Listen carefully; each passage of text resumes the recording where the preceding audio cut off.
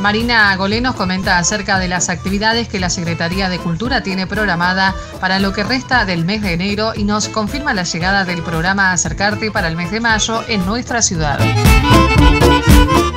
Para seguir con lo que es este verano en Maipú, hemos propuesto de la Secretaría de Cultura nuevamente, como fue el año pasado, cine bajo las estrellas, es decir, disfrutar de la Plaza San Martín, disfrutar de nuestro lindo espacio en las cálidas noches de verano. Y bueno, vamos a tener a partir de este jueves y siguiendo martes y jueves y terminando un martes para finalizar el mes de enero con cuatro proyecciones de lo que fue lo mejor del cine del espacio Inca 2016, eh, tomando la parte de, comedias y hay un drama para el, mes de enero. Así que invitarlos a ver Dolores, Caída del Cielo, el juego y la última fiesta. Así que esa es la programación de cine nacional, del espacio Inca, este momento lo hacemos en común, en un trabajo en común con la gente del espacio Inca de la Sociedad Italiana, quienes proveen la pantalla y proyector y películas, y nosotros desde la Secretaría eh, el personal. Así que esperamos que como el año pasado se sumaban con sus reposeras, venir y sentarse y tomar lo que es la, la plazoleta o en el centro de la plaza, veremos bien dónde esté el lugar más oscuro para poner la pantalla, pero ahí vamos a estar esperándolos con lo que es el cine bajo las estrellas. El jueves 19 comenzamos para seguir 24 y 26 y finalizar el 31 de enero.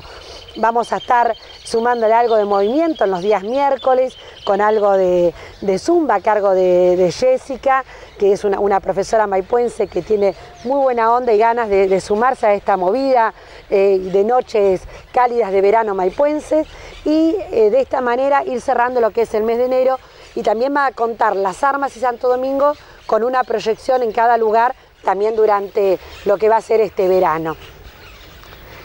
Mañana, 18, la Escuela de Arte eh, se va a desarrollar un taller eh, que lo provee el Ministerio de Cultura de la provincia. Es un taller de construcción de torno alfarero patero. Así que es muy interesante porque está abocado a personas desde 15 a 25 años, pero bueno, si exceden la edad, vengan igual a mirar, a ver, a aprender. Es un elemento que enseñarán a, desarrollar, a hacer, que sirve para que lo hagan por ahí en su casa y puedan realizar luego su propia producción. Van a traer todos los materiales, la arcilla, Daniel Mendoza es el capacitador que llegará a Maipú y mañana entonces a partir de mañana miércoles 18 de 4 a 19 horas será este taller intensivo para aprender a desarrollar un, eh, un torno alfarero patero que va a quedar en la Escuela de Arte y después durante el año seguro algún tallerista comenzará también a darle movimiento a, este elemento nuevo que vamos a incorporar en la Escuela de Arte Manuel Belgrano. Bueno, contarle a los maipuenses que el día viernes tuvimos la visita de la directora de Relaciones Institucionales, Florencia Salio,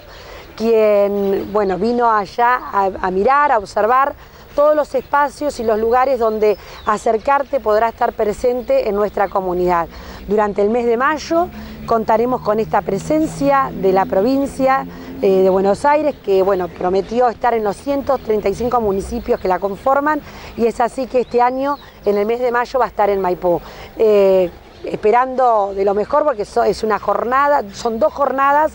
la gente va a venir a armar a partir del día miércoles y se termina el desarme el día martes. Imagínense la infraestructura de lo que va a traer acercarte a la comunidad. Pero más allá de eso van a ser dos días intensos durante un sábado y un domingo, que va a haber espectáculos de 2 de la tarde a 10 de la noche. Eh, no solo espectáculos, sino que biblioteca, eh, espacio de cine, espacio de talleres, espacio de, expresión. Así que bueno, eh, a ir preparándose y a estar